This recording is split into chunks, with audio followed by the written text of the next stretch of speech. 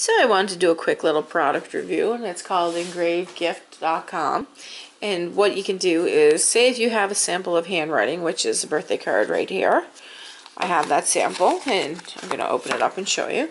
And it's actually um, a birthday card to somebody and it's from their mother. So uh, what you need to do is you need to snap a picture, which I have right here, and I snapped it with my phone, and I sent it to that company.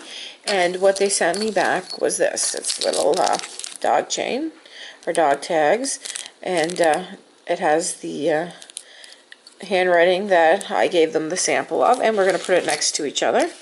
And as you can see, I'm just going to take it out of the package here. Actually, I don't need to. I can just hold it like that.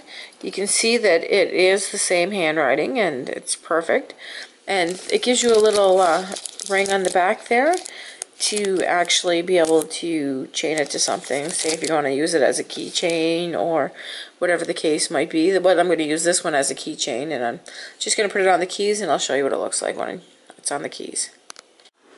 And there we have it on the keys. So check them out. I'll put their uh, address down at the bottom and like, subscribe, and share this video. And it's definitely a gift that you can give anybody.